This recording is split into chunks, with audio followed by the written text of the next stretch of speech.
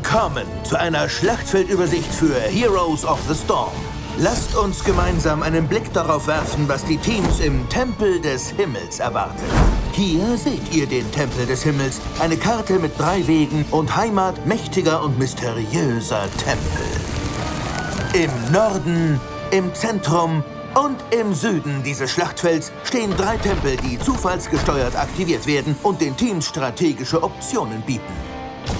Vergesst jedoch nicht, dass jeder Tempel von übellaunigen Wachen beschützt wird, die ihre Heiligtümer mit allen Mitteln verteidigen. Um die Tempel zu kontrollieren, müsst ihr in ihrer Nähe bleiben und euch fortlaufend um die verteidigenden Wächter kümmern. Sind die Tempel aktiviert, bombardieren sie die Stellungen des gegnerischen Teams mit magischer Energie. Sie zu kontrollieren ist für alle Teams ein lohnendes Ziel, da sie die Verteidigung des Gegners schnell in Staub verwandelt. Das Kontrollieren eines Tempels ist an sich schon schwierig genug, doch wird es um ein Vielfaches schwerer, wenn der Gegner auch noch mitmischt. Des Weiteren gibt es fünf Söldnerlager im Tempel des Himmels.